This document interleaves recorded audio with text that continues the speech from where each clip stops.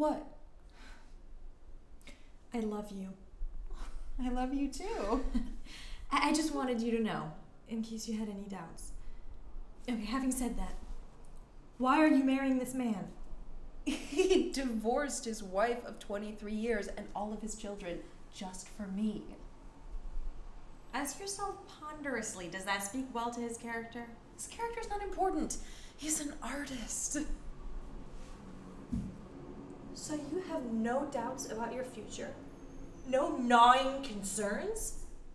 I mean, the fact that he is over twice your age, myopic, rumored to be a drunkard, decidedly a philanderer, and has been known to wear a ponytail makes no matter to you?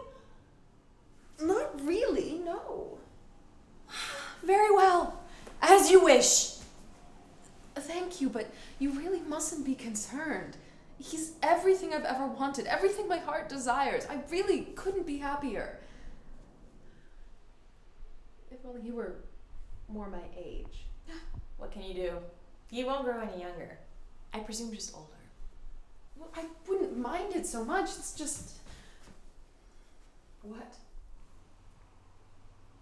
His hands have spots. Age spots. Liver spots. Death spots. Little brown ones. And he has gray hairs all over his body, even on his chest. Another thing is he cries when he looks at me. You're going to be his nursemaid. I'm too young to be a nursemaid.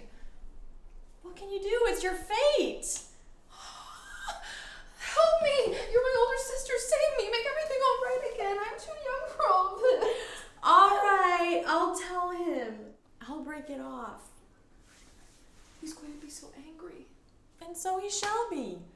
You must not sacrifice your life for some doddering relic simply because he turned you into a silly legend. Mm, I like being a legend. But is it worth a bad marriage? You have a bad marriage. Why would you say that? Jonsey and I are very happy. You seem to despise him.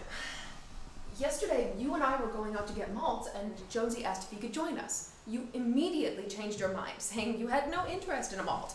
When we returned with our malts, you cried, saying you'd wanted one all along. Jonsey offered you his, but you shoved it away with such a force that it fell and splattered all over the cobblestone. Well, I suppose I simply didn't want a malt after all. You don't understand being pregnant. There are cravings you cannot explain. These cravings are deep, and reason does not speak to them. Now, shall I break up your marriage, or What do you think I should do? why do you ask me? This is entirely your decision. This will make or break your life, and I will be held responsible for it. I, I don't know. I don't know. Why ask me? I. Let's pull the petals off that flower. Whatever it says will be so. That is a childish way of making a decision, a foolish solution. Well, I think it'd be fun to do it this way. Fine. It's your life.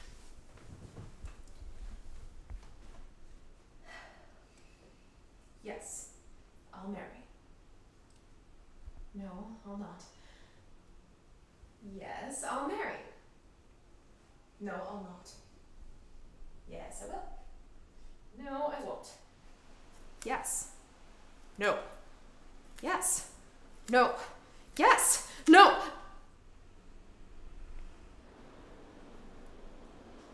It stopped. Fine. But my heart. Too late. Live by the flower, die by the flower. The marriage is off.